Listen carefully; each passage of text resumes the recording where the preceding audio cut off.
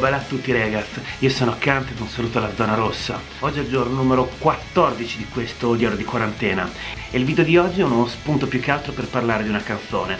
Presente su questo disco dei Io e Gomma Gommas, band di Ancona che la gente della mia età Gentilmente negli ultimi giorni mi ha mandato tutta la loro discografia e, e, una maglietta, aspetta vi faccio vedere la maglietta.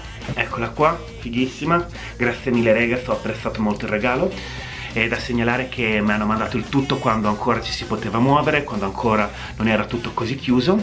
E comunque io e Gomma Gommas, per chi non li conoscesse, sono una band di chiara ispirazione dei MFers e dei Gimme Gimmes. Infatti il loro nome non è altro che un'italianizzazione eh, di questa band americana.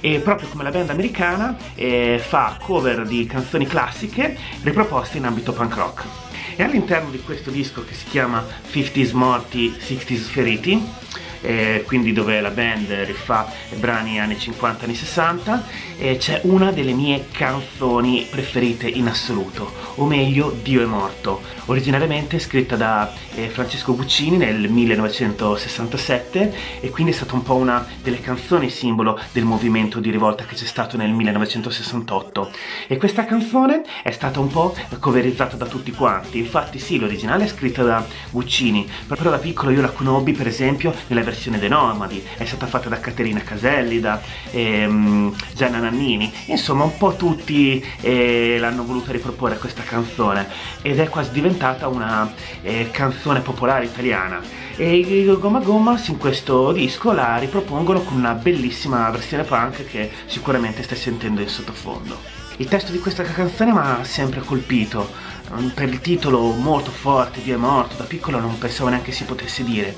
E l'ultima parte di questa canzone te la vorrei leggere perché credo che possa essere un motivo di buona speranza per tutto quello che ci sta succedendo in questo momento. Ma penso che questa mia generazione preparata a un mondo nuovo e una speranza appena nata, ad un futuro che ha già in mano e una rivolta senza armi, perché noi tutti lo sappiamo che se Dio muore per tre giorni e poi risorge.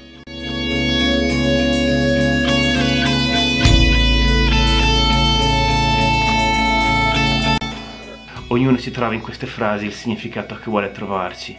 Io oggi la mia l'ho detta. Bella rega, ci vediamo presto. Dai.